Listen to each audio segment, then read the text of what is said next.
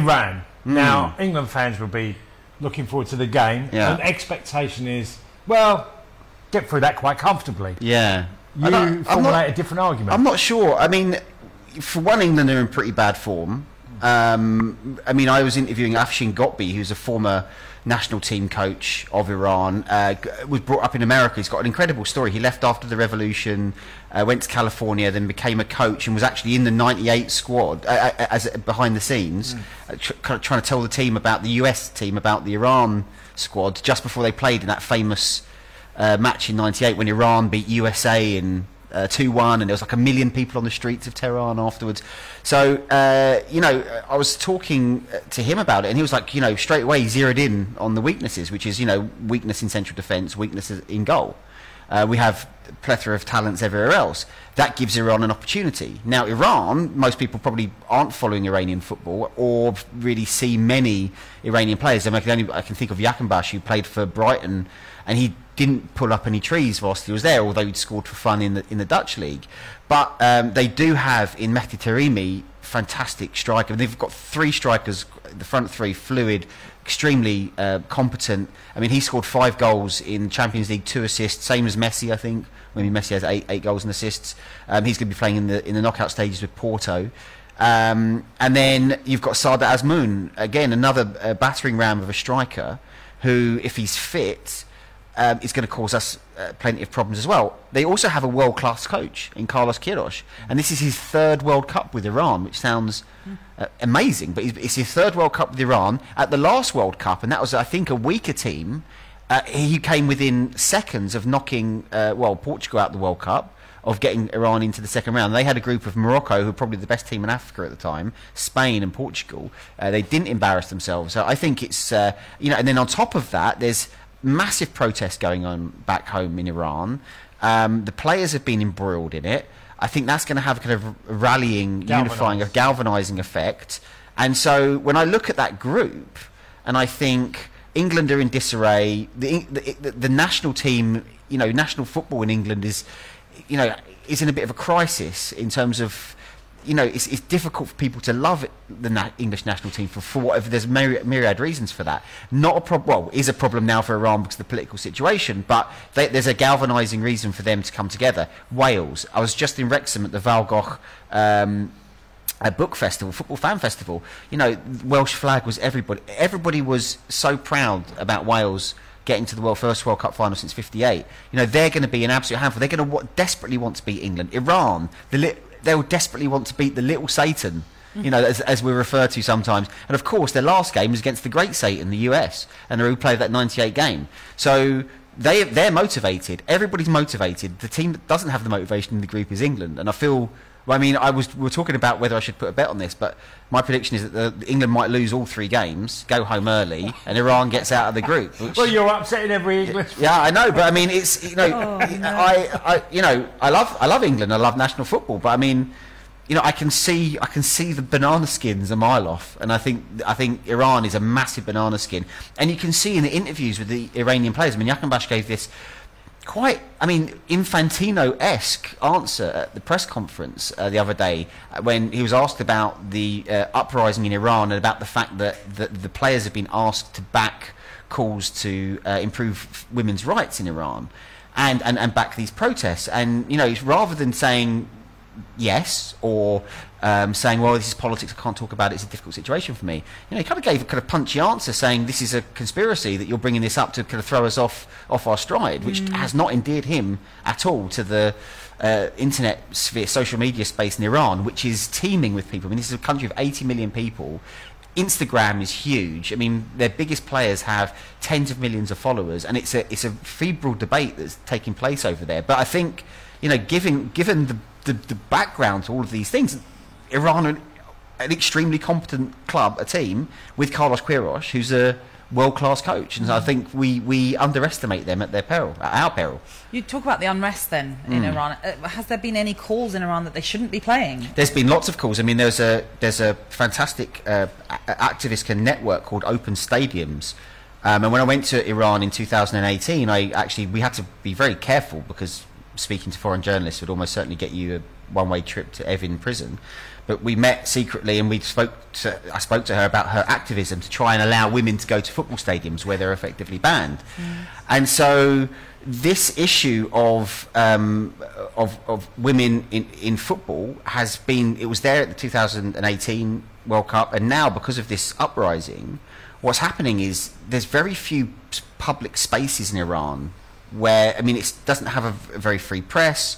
Um, Instagram and Telegram are places where people can talk about, but um, film stars, pop stars, footballers, you know, high-profile people are expected to kind of stand with the people, and they've they've been found to be a bit lacking in that, and that part of the reason for that is you know the Iranian regime, as we've seen in the news, can be will punish your family for that. They, they will they will extract a price if you speak publicly. I mean, even now, uh, the former great. I don't know if you've ever if you ever came across Ali Karimi. He was at Bayern Munich. I mean, I think he might Ali Karimi might be the best player I've ever seen in the flesh, which is like as in with my own eyes at the stadium.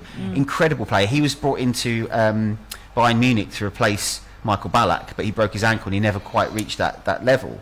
Um, and he's been very uh, open and very um, critical of the government, and he's had to flee. He's now in exile in uh, in Dubai. He's a retired player now, but he's he's in exile now in Dubai, and, and uh, you know he's wanted on charges of kind of essentially sedition.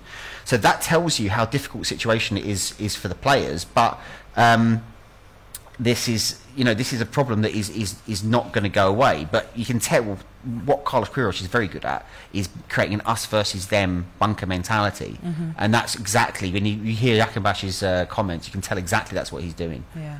We, we hear that the way that Iran will set up will be a low block, which England find quite difficult at times. Yeah. to break down teams like that. Is that how they normally That's play? exactly how they'll play. And when I was speaking to Afshin Ghotbi, who's very, very smart coach, that's exactly what he said. They're going to set low block. They're, not, they're you know, there's just going to be 11, well, 10 men, 9 men behind the ball. Um, there's going to be so little space. And as we've seen with England, we have no idea how to unlock that. And he's, as, as every um, uh, Iranian fan has, has kind of is hoping for as well, Ghotbi pointed out, they will just need one opportunity because they have clinical finishers. Those three, front And with three, pace. with pace Yeah. um, and guile, and they, they you give them a chance and they will take it. And I think it's going to be, if whatever happens, it's going to be a very close game. Famous last words. They'll probably get tonked five 0 now. No, but I think most are expecting it to be a close game just because of the fact that England do struggle Yeah. against teams that come with that defence first mentality. And like you said, they then have the pace to break, and, and that could be a big issue for, for England. I was going to ask you about Qatar and Saudi Yeah. Arabia, where they stand. Are Iran the best of the, the three? I think so. I think Iran have the best chance. Um, Saudi Arabia's always been the the kind of powerhouse of, of Middle Eastern football uh, traditionally because it's just a bigger country. They're you know it's, they have big big football culture there. And uh, but then you saw it 2018. It didn't go so well. They had because they've got a lot of money. I, I actually went and met uh, Sal- Salem Al-Dawsari, who was probably one of their best players, and they'd they'd paid for a lot of their players to go to La Liga to get like a, a season or half a season's um, experience. And it didn't quite work out. They never really got broke into. They took the money, the clubs, and Villarreal signed him, and he had a couple of games and did okay. But there'll be there'll be one to look for. I think the surprise package playing today is Qatar because everybody.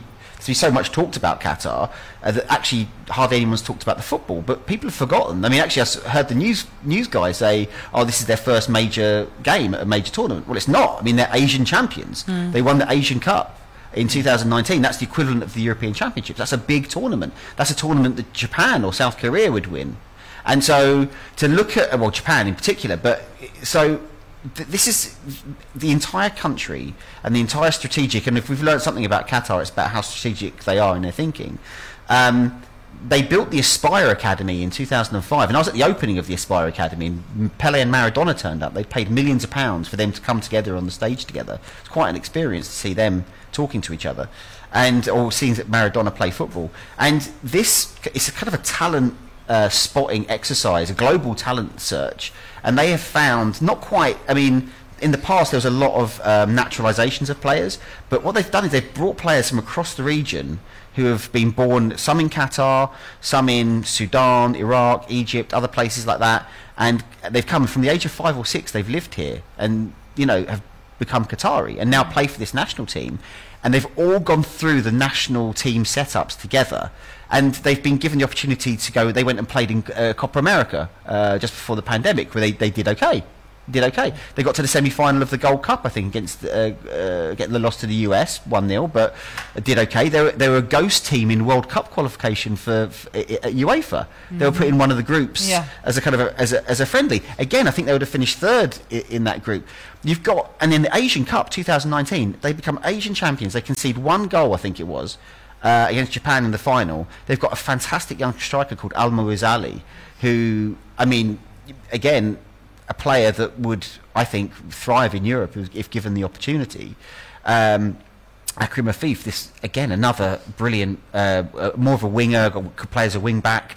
Uh, you have uh, Hassan Haydos, the captain. Uh, he's getting on a bit now. Well, getting on, he's 32. He's 11 years younger than me. Seems weird saying that. But, um, you know, they have a, a team that is full of, of like this generational talent that they have been slowly building up exactly for this first game today. And in in coach Felix Sanchez, you know, he came from Barcelona's academy. He's been there for five years. There was a bit of pressure about his job as well because I, I spoke to Xavi a few years ago when he was out here playing for Al Sadd and he was coaching at Al Sadd.